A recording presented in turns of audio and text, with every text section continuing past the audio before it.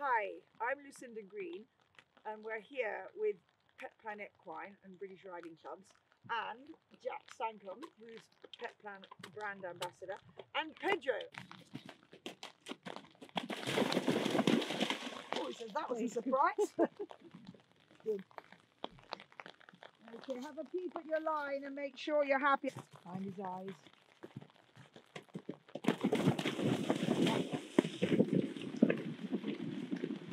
And canter away. That was beautiful. Tell him he's great.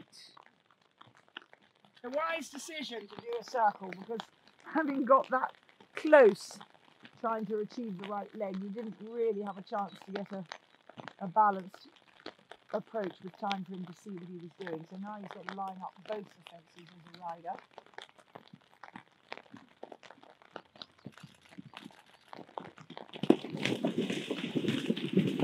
Whoa! Do it again the other direction. It was beautiful. Make sure you pat him. Make sure you thank him.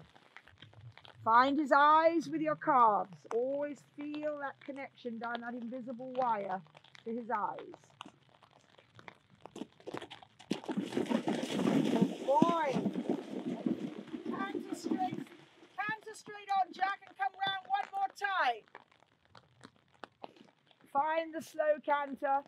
Realize how sharp the turn is. Know you've got to back him up with your legs to help turn him. Well done on the wrong leg all the way.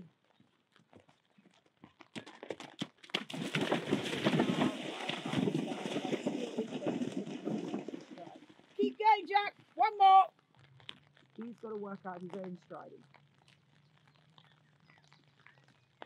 Look ahead. Feel two legs around him.